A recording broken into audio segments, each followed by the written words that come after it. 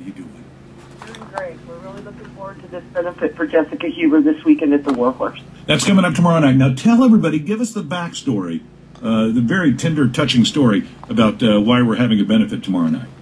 Well, um, I actually was in at the Warhorse. It's a um, venue I've just taken over the booking for next to Antone's, and there was a little girl there uh, with her father, and she said, "Oh, we own the cheese uh, cheesesteak truck, uh, food vending truck on Colorado and Fifth here in Austin." And I noticed that there, you know, that she had some injuries and whatever, and but the just the most delightful child. And I had asked the bartender, "Who is that?" And he said, "You just wouldn't even believe it, Rachel." He said, uh, "When that little girl was." Uh, 14 months old, her mother hit uh, a flatbed truck going 71 miles an hour and crushed that child's skull in four places. Mm. And uh, the doctors told her dad that she would never make it due to the, the surgeries, but um, she's had so many, bless her heart. And her dad bought that food truck um, in order to help pay for her medical costs. Mm-hmm. And uh, unfortunately, with all her doctor's appointments and um, with all of her injuries and continuing surgeries, the cheesesteak truck is just not enough. And so that's why we're holding this benefit. This is the most delightful child for everything that she's gone through and the fact that they said that she would never make it. And here she is. Uh, 11 years later, and such a delightful child, and I I really suspect that that's completely due to her father, uh, Mark Huber, Mm-hmm. who runs the food truck.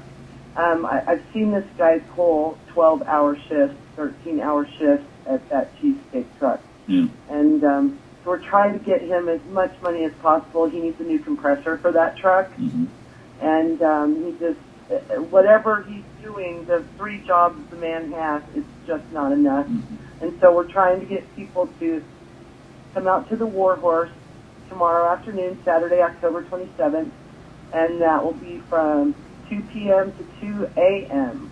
Wow. Yeah. And you know, I couldn't be prouder of our Austin musicians who have uh, uh, turned out and said, "Yes, I want to be on the bill. I want to help Jessica." Uh, give us an idea of the lineup that we're looking at.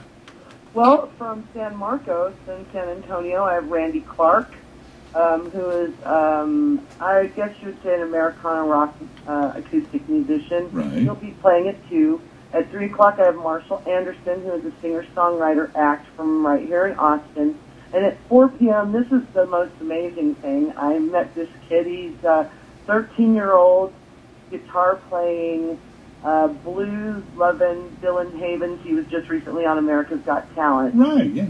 Yeah, um, and they went from August uh, from Austin to Vegas, and um, he's incredible guitar player for a 13 year old, and a really a lot of fun. And I can't thank the guys who are after him. Whiskey Logic, they're from Midland, Odessa, and Horseshoe Bay. They've come in to and agreed to back up Dillon even, so they're learning seven songs they've never played before just for this just for this benefit. Right. And then at 7 p.m., I have Mike Dubose and the Dissidents. Anybody locally knows Mike Dubose. Yes. Then we have the Austin staple, the Steelbeam. They'll be playing from 9 p.m.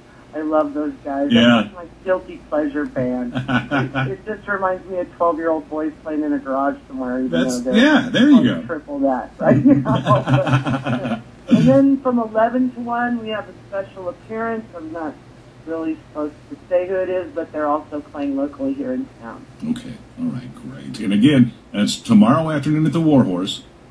Yep, 209B West 5th Street. Um, we're right next to Antone. Okay. Cool. Cool. Rachel, best of luck to you, and we're all uh, hoping for the best for uh, little Jessica and her incredible father. And uh, say thank you to uh, the folks playing over there tomorrow. And uh, thanks for sharing this story with us this morning.